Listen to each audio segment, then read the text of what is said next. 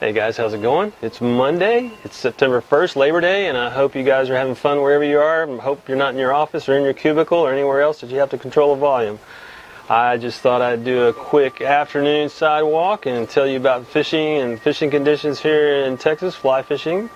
Uh, right now, we've got a little storm maker out on the uh, upper Gulf Coast that, from what I can tell by reading everybody's uh, Facebook feeds, uh, is kind of putting the fishing off for those guys. So the guides there, um, they're kind of sitting back, waiting, waiting for the weather to straighten itself out. Here in freshwater, uh, it's the usual kind of headed into the doldrums thing that happens in the fall just a little bit. This is just a slight version, I think.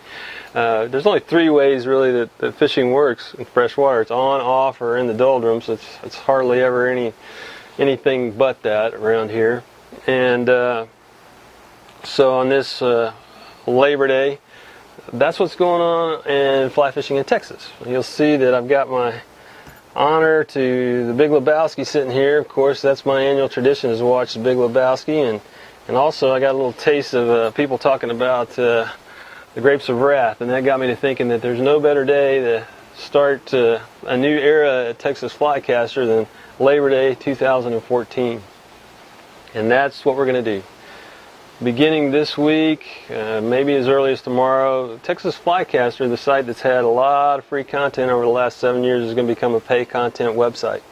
Uh, it's not anything, it just seems natural to me because I come from the newspaper background. I'm a professional writer. I get paid to write, and I see plenty of my stories taken and rewritten and published. So in an effort to kind of make the whole thing work better, we're going to go ahead and, and, have subscriptions for Texas Flycaster, and it depends on how often you want to read, or if you just want to read one story or want to read for a year. I think the rates are going to be pretty good. Uh, that thing should, the, the, whole subscription thing should kick in uh, this week, and it's bleeding edge technology, and that's the way I work. You know, whether it's with cameras or with computers or any of this other stuff. So I try to get out on the edge, and sometimes there's a little bloodshed. So I appreciate you guys reading all these years and reading the free content. And if you're one of those guys, girls, whatever, that thinks all content should be free on the internet, it's been nice knowing you. And uh, I hope you would subscribe and, and get over that. But uh, there's plenty of places that you can you can read free content that's not nearly the quality that we offer here.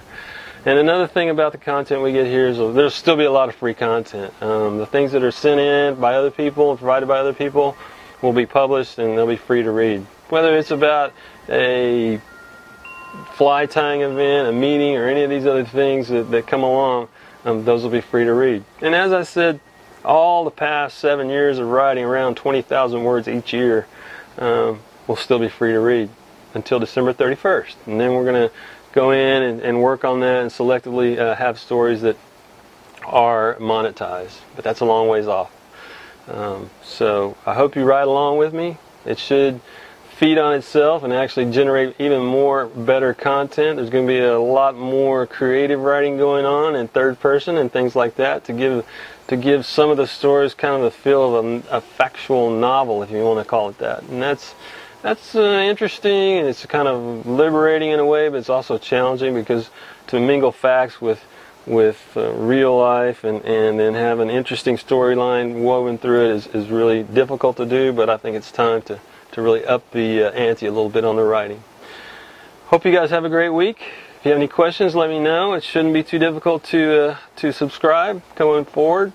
And uh, I look forward to you coming back. I'll, I'll be uh, out of town for a few days and uh, reporting from another state and bringing, hopefully, bring back some information about a week from today about uh, New Mexico. So, have a great week, and we'll see you next week.